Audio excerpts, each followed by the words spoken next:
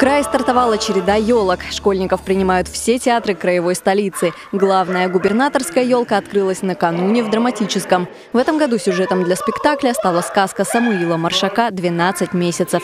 Пресс-служба администрации Барнаула сообщает, что елки для школьников проведут также в Театре Мускомедии, ДК Барнаула, Южном и моторостроителей.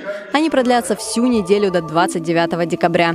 Всего их посетят 34 тысячи барнаульских школьников. Кстати, новогодние представления в краевой столице организовывают уже в 51 раз. Несколько наших ребят в ближайшие дни отправятся в Москву на традиционную кремлевскую елку. Это победители олимпиад, соревнований, всевозможных конкурсов, а также те, кто учится на отлично.